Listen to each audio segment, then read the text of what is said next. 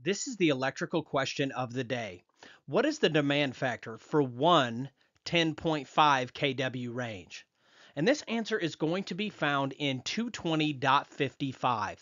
When we go to section 220.55, it lets us know that we can use table 220.55 in order to calculate our ranges. Now, this is a pretty complex subject, so if you haven't learned all about it, you can learn it for free at electricalexamcoach.com.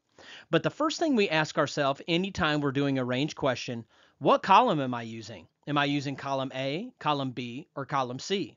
Well, this range happens to fall in the column C section, and it's not more than 12 kW, so we can use column C at face value. The thing that we have to watch out for with column C is that is not a demand factor in column C, it's a replacement value.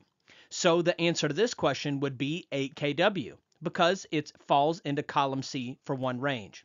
If you want to learn more about this and tons of awesome things, just to be a well rounded electrician, well rounded enthusiast, or get your license or certification, you can head over to electricalexamcoach.com.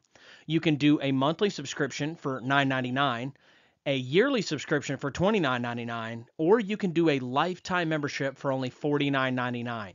You can go through all of the videos absolutely for free. I am the Electrical Code Coach. Let's get to it.